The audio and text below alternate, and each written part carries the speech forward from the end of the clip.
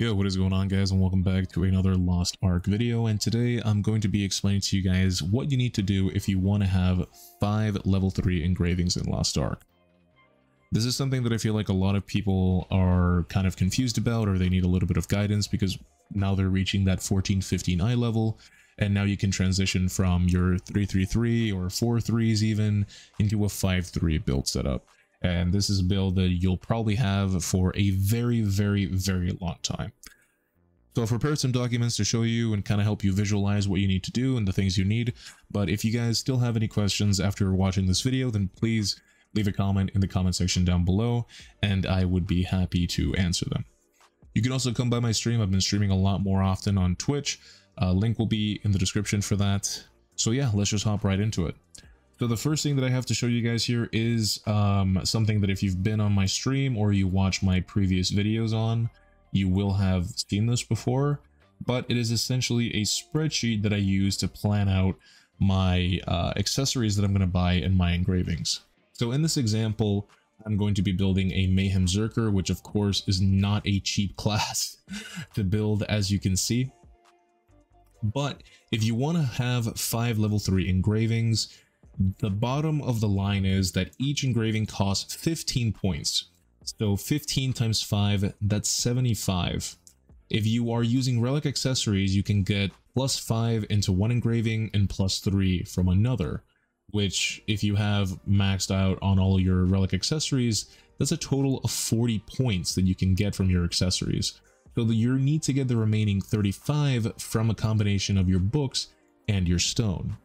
The easiest, most effective, and cheapest way to do this is to have one legendary engraving, aka one golden book, equipable engraving, one 9, which everybody should have at this point, and a 7-7 stone. So a 7-7 stone is kind of hard to get, but it is a lot easier to get than the alternative, which is if you don't have a legendary engraving to use, you only have both 9s, it's just not possible. So realistically, you would have to roll a 9-9 stone, which is not realistic.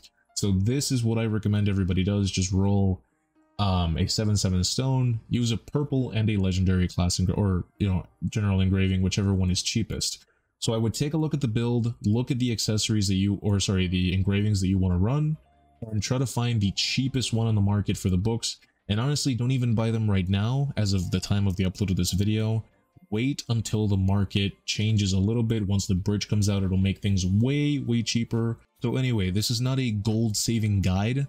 So we're just going to pretend that we're Omega whales and we can just afford to buy a plus 12 grudge. Okay, it doesn't matter which one of these, the process is the same. So let's just say we have 12 grudge and then we have a 9 cursed doll. So you want to roll a stone that is not your equipped engravings. So if I'm going to be using grudge books and I'm going to be using cursed doll books, you're going to want to roll a stone that is keen blunt and master's tenacity for this example. Obviously stones cannot roll for your class engraving, so your class engraving is most likely going to be the one that you need the most accessories for. And if that is too expensive, then you can always just equip that class engraving. So I could just roll Mayhem 9 here, and then I would just need to have uh, Doll. So whichever one is cheapest for you, it doesn't really matter, you know, as long as you can get this setup right here, which is one legendary, one purple, and then the two sevens. What this means, and in order to turn this into a 5-3, you need to have a plus 3 accessory on the same uh, engraving that you have legendary books for. That much is obvious you also need to have plus five on both of the engravings that you rolled on your stone. So if you have in in this example a uh, seven keen blunt stone and seven master's tenacity, you also need to have a plus five keen blunt and a plus five master's tenacity accessory. So this will bring you to 15, 9, 12, 12, 0. Now to finish filling this out, the only thing you have to keep in mind is that for the engraving that you have literally zero on, that is going to have to be plus five on three separate accessories. So you see here, I roll, or I, I equipped uh, Grudge 3, Keen Blunt 5. I put plus 5 on Master's Tenacity. I cannot put three into the engraving that has none because otherwise I will not be able to max it out. So you put it on the other one, which in this case is Cursed Doll. So now that you have that, it becomes a lot easier. You just put five in that engraving, three in this one, five in the other one, three in this one, and then one by one, you fill them out. This is why it's so expensive to have a 5-3, because you need to have plus 5 on these.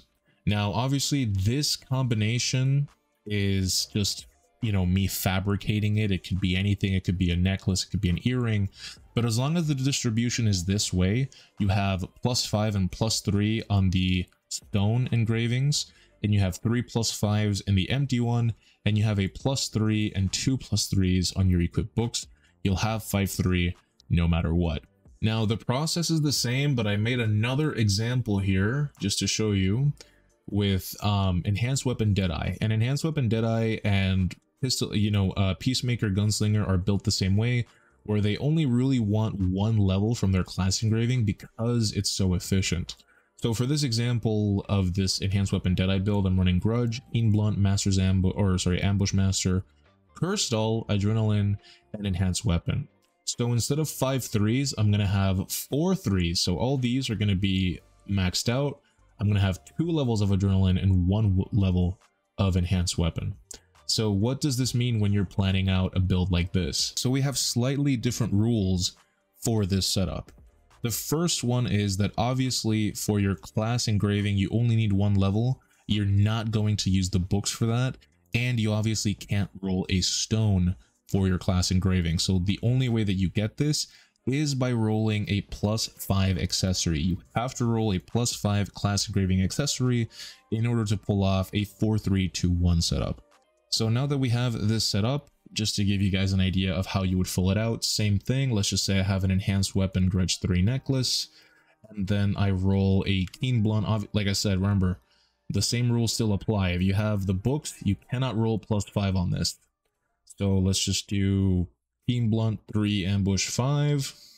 Let's do Cursed Doll 3, Keen Blunt 3. And then let's do Adrenaline. Oh, that's the wrong spot. Let's do Adrenaline 5, Master Ambush 3, and then Cursed Doll 3, Adrenaline 5. And there you have a 4-3-2-1 setup I took the liberty of making a little visual in Photoshop of how you would distribute your points. Hopefully this helps some people. But uh, as you can see here, the books, you have the 12 nodes um, for Grudge in this example, and the 9 nodes from Keen Blunt. So you're getting the two other 6 points that you get from two other accessories that also rolled plus 3. And then for Cursed Doll, this is your uh, stone, your plus 7 stone. So you need to roll a plus 5 on both of these in order to do this.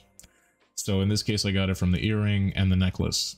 And then the remaining levels here, as you can see, you roll plus 5 adrenaline, plus 5 um, enhanced weapon, and there you go. So it's really that simple, but I feel like a lot of people just, just don't know or they didn't know. So I wanted to kind of go through it. And uh, hopefully that answers your guys' questions. Like I said, if you have any questions, feel free to leave them down in the comment section below and I will be sure to answer them. I'll see you guys in the next one. Take care.